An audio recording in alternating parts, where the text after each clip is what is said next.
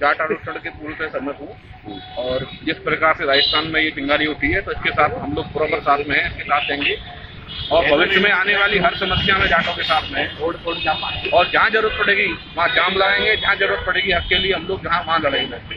हम ये नहीं चाहते कि हम किसी की अशांति फैलाएँ, लेकिन हम ये चाहते हैं कि शांतिपूर्वक ये कार्य हमारा होना चाहिए। जब हम सालों से इस लड़ाई को लड़ रहे हैं सभी को ये चीज़ हो चुकी है तो जाति आरक्षण देने में किसी को क्या परेशानी है? किसी को पॉलिटिकल न बना के एक समुदाय प्रदेश के लिए थोड़ा सा सरकार सोचे बीजेपी अपने केवल जो मापदंडों पे केवल व्यापारिक मापदंडों में चल रही है किसानों की तरफ़ बिल्कुल नहीं सोच रही है और जो परसेंटेज किसानों की देखी जाए तो जाटों में सबसे ज़्यादा किसानों की परसेंटेज है। चाहते हैं कि आप सभी लोग उसमें सहयोग दें और जाटो लोगों को सक्सेस करें। क्या नाम है आपका? राघव जी कि किस तरह से जाटा को आंदोलन आप किस तरह से सहयोग में हमारी तरफ़ से पूरा सहयोग रहेगा। भारतीय जनता पार्टी और केंद्र सरकार से हम अनुरोध करना चाहेंगे कि जाटों को या फिर आरक्षण दें या कोई इनकी ऐसी व्यवस्था कराएँ जिस प्रकार किसानों के प्रति इनका जो व्यवहार है बहुत ही बेहद ही निराशाजनक रहा है कि हर समय झूठे वादे किए इन्होंने। कोई काम नहीं दिया सरकारों के हर का किसान बेचारा परेशान है। किसानों की इनको मदद करनी चाहिए, किसानों के लिए इनको नई योजनाएँ लानी चाहिए। कुछ ना कुछ किसानों के लिए ज़रूर करना चाहिए, क्योंकि किसानों से ही सारी व्यवस्थाएँ चल रही हैं। क्या बिल्कुल आप सहयोग करेंगे उन्हें? जी बिल्कुल सहयोग करेंगे।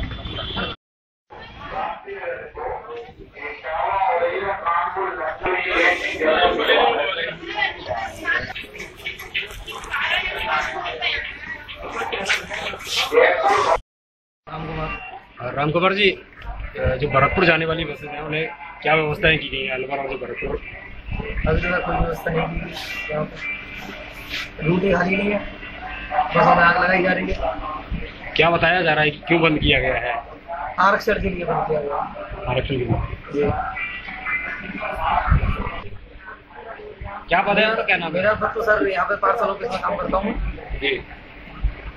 और डिलीवरी का काम है। यहाँ पे तो डिलीवरी भी इससे कैंसिल हो गई? है जो माल भाड़ा यहाँ से जाता था उन्हें बिल्कुल सर सब कुछ कैंसिल है। आज का तो कोई भी पार्सल ना तो गया है ना कोई आया है। क्या अभी तक कुछ बताया है? कब तक ट्रैक खाली हो पाएगा? अभी कोई अभी कुछ नहीं। कुछ नहीं अभी कोई ट्रैक नहीं बताया कोई जानकारी किसी तरीके की कोई जानकारी नहीं है। कहाँ से कब बस जाएगी? सवारी सब पैसेंजर सब परेशान है। यहाँ आके बार बार हम पूछ रहे हैं कि क्या करें क्या करें कैसे जाएँ? सारी ट्रेन भी बंद हो गई है। जब आपको नहीं पता तो आप सामने किस तरह से संतुष्ट कर रहे हैं हम यही कह दे रहे हैं सर कि जब ऊपर से हमें वो मिलेगी इन्फॉर्मेशन तब हम आपको बताएँगे। तब प्रोवाइड कर पाएँगे कि किस तरीके से जाना आपको कैसे नहीं जाना। ठीक। है प्रेमदास। कहाँ खड़े हो आप? में खड़े हैं। अरे बस स्टैंड ना मालूम तुम्हें? बाबा प्रेमदास। प्रेमदास जी कहाँ खड़े हैं इस वक्त? Mathura Mathura bus stand. क्यों क्यों खड़े हैं? क्या वजह है? इधर बस नहीं जा रही है इसीलिए खड़े हैं। कहाँ? अजमेर अलीगढ़। क्या बोल रहे हैं? बस वाले क्या बोल रहे हैं? ये बोल रहे हैं आगे रोड जाम लगा हुआ है गाड़ी फूंक देते हैं। इसलिए पड़े हैं यहाँ। कब से कब से बैठे हैं? हाँ हो गया लगभग आध घंटा है। कुछ बताया कब तक खाली हो पाएगा? बता रहे हैं? सूचना ही नहीं आई जब तक सूचना नहीं आई तब तक जाएँगे ही नहीं। दिक्कत हो रही है किस तरह की दिक्कत है? बता रहे हैं कि आग ही लगा देते पत्थर मारते हैं। भारत जी इस वक्त बस स्टैंड पे आप खड़े हुए हैं। क्या बताया बस, बस वालों ने कि कब तक बस जाएगी? ये बताया कि बसें फूकी जा रही हैं वो रोड दोनों तीनों बंद हैं जयपुर अजमेर और जयपुर अलवर और भरतपुर का रोड जाम है। और बता रहे गाड़ियाँ फूकी जा रही हैं यहाँ अटके पड़े हम लोग सभी। तो कोई अन्य साधन संसाधन कराया कि आप जा सकते हैं? कैसे अब कोई, क्या सा, कोई साधन नहीं कराया? बता रहे कोई? तो आप जब तक बस स्टैंड भी रहेंगे। हाँ। जी क्या नाम है आपका? हाँ, पूनम जी कहाँ जा रहे हैं? कब से यहाँ पे रुके हुए हैं? एक घंटा हो गया। आपको। बता दो क्या दिक्कतें आ रही है? क्यों बस नहीं जा रही? क्या बस नहीं जा रही।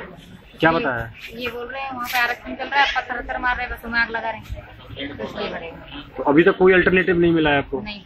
किस तरह की समस्या आपको सामने कर रही है। आप फैमिली के साथ हैं बच्चों के साथ हैं। बच्चे खड़े हुए परेशानी में ही खड़े हुए हैं। धूप बहुत है।